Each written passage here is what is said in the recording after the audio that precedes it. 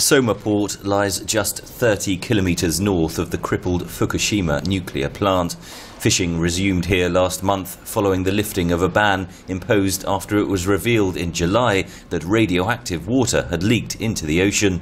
As the fishermen prepared to cast their nets once again, the head of the local fishing cooperative offered his encouragement.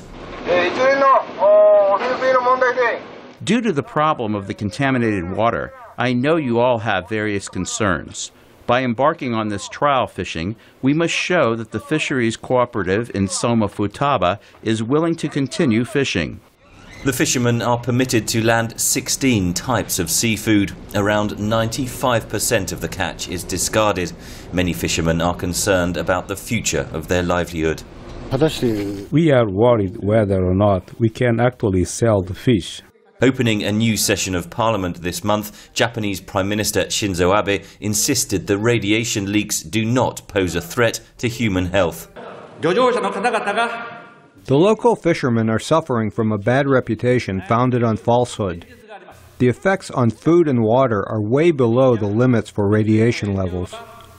Just offshore from the Fukushima plant, scientists from the Woods Hole Oceanographic Institution in the United States are working alongside Japanese counterparts, monitoring radiation levels. Among them is Ken Buesseler, who spoke to VOA via Skype. That radiation is moving across the Pacific, but it gets much, much lower, even short distances offshore. Buesseler says a bigger concern is the accumulation of isotopes in marine life. Earlier this year, cesium isotopes from Fukushima were found in tuna caught off California. The tuna were caught off San Diego with the Fukushima cesium isotopes. They were 10 to 20 times lower than they had been off Japan. Now, the new releases, the leaks from the tanks, they're changing in character. Strontium-90 has become of more concern because it's a bone-seeking isotope. That will stay in fish much longer.